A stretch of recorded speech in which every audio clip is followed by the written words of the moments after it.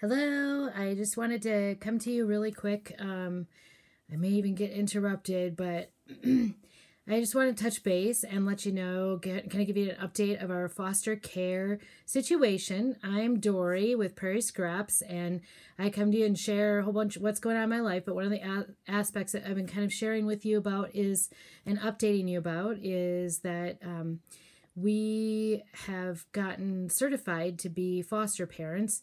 And actually it seems like it's like a long tedious product process because it actually took us a whole entire year to get certified. And so we've been certified since last october and then nothing. We didn't get a single call. We didn't nothing. So um anyway we finally got a call about two maybe a week and a half two weeks ago.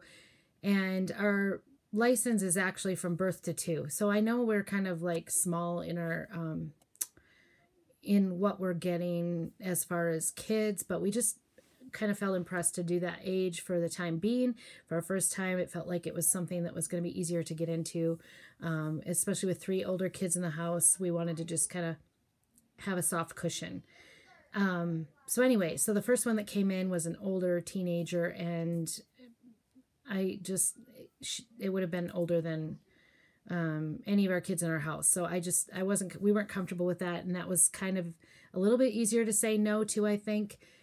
And um, last night, yesterday afternoon, we got a call for a placement, so we're kind of excited. It's sort of a weird, nervous thing. It's funny because I think the guy, my kids, my own kids, nailed it on the head. Like they're super excited to be getting someone to come to our home um, but yet very nervous. So that's kind of where we're at. Nothing like getting your house cleaned um, really quickly because you want it to look nice because the social worker is coming with the placement. So um, this one is also outside of our um, our uh, licensing, which was only until two, but they're expanding our license so that we can include this one.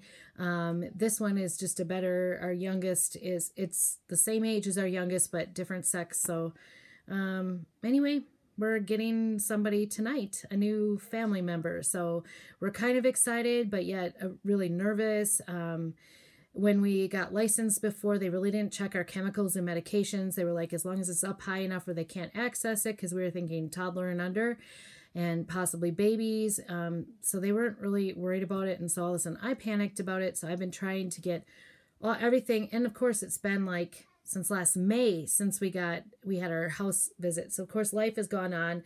My kids don't get into chemicals or medications. Not like we have them laying around, but wow. And I really don't use a whole lot of chemicals. So I guess in the closet I really do have a lot of um, chemicals. I don't know. I don't know where they all came. I had two gallons of bleach, and I'm allergic to bleach, and there are very few things I use bleach for. So I don't know why I have that, but I can't bear to throw it away because that's kind of ridiculous. So anyway, um, trying to gather all the cleaning supplies to one small spot. I'm just listening. My kids get excited. They were all quiet and doing something. Um, we had to get bedrooms clean. We had to clean the bedding off of the bed that we're getting ready because we actually hadn't talked about that. Um, I ran up and got a bunch of child locks and trying to figure those out. Um, child locks, they're no joke for adults. I'm telling you, I can barely, like, you need three hands to open it up. But um, anyway, so that's where we're at. We're kind of excited, um, very nervous, and don't know what to expect. I went and got a bunch of um, I got a bunch of uh, like necessities like toothbrush, toothpaste, comb. I didn't know what he's coming with. And that's it. I mean, oh, I got a little teddy bear. I was hoping to find one of those soft like throw blankets that you put on the, you know, so he could have his own little blanket. Our local store doesn't have it. We don't have stores, very big stores around us. They've had those blankets like all through the holidays and all last fall since they've been open and nothing. We couldn't find anything. So anyway, I had to settle for a little um, teddy bear and a coloring book. So I'm trying to find something special for him and when he arrives. And so there you go. We're the other thing I think we're a little nervous about is we have to cover some childcare because I teach piano two nights a week after school. So he'll have to have some. We'll have to get some help with that. It we figured out it's only an hour and a half for two days. I need help with So, but that has to be an adult. So we're we're kind of excited about that, trying to find somebody in a panic. It's funny how everybody says they're going to help out and oh yeah, call me if you need anything. I can't find childcare. So anyway, and then also I'm going to have to be making some trips up to the public schools. So that's going to be fun too because I've not really dealt a whole lot with the public schools because we homeschool. So my kids do go up an hour or so.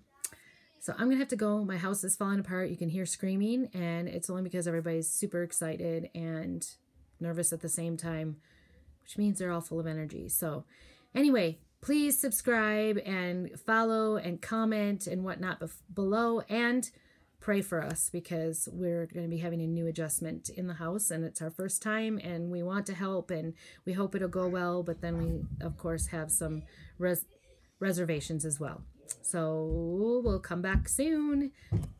Thanks for for listening.